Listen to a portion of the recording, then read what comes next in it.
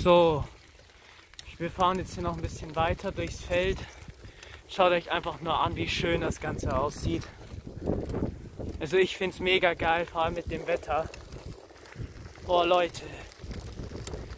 Jetzt wäre es geil, wenn es noch schön grün wäre und Sommer wäre. Boah Leute, ihr glaubt nicht, wie ich das feiern würde.